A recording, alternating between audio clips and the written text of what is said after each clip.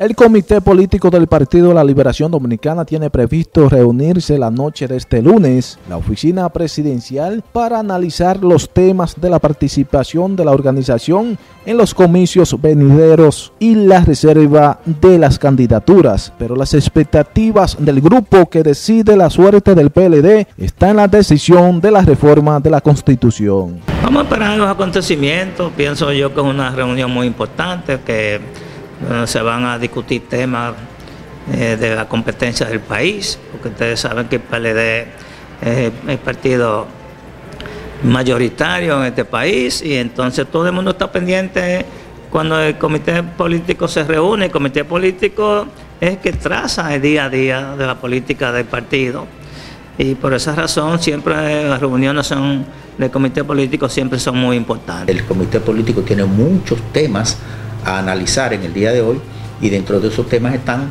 el tema de las reservas, eh, ya se ha dado incluso a conocer que dentro de la agenda está una información que debe dar y, debe recibir el comité político de la Comisión Nacional Electoral y un sinnúmero de temas pendientes que el PLD está eh, y la estructura del PLD están esperando que se defina.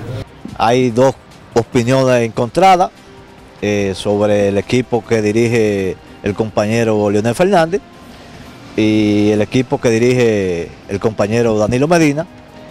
Y como siempre, eh, yo creo que se van a poner de acuerdo. El PLD en los momentos difíciles eh, va a salir airoso y como la otra reunión que la gente pensaba, nuestros opositores, que iba a haber problemas, todo salió eh, como tiene que ser, gente con capacidad de entendimiento, con capacidad política, y así mismo pasó. En esta oportunidad yo creo que va a ser lo mismo. Eh, los compañeros Danilo y el compañero Leonel, que tienen vasta experiencia, van a ponerse de acuerdo nuevamente y el PLD va a salir airoso de esta reunión de hoy del comité político. NTN, su noticiero regional, Robinson Polanco.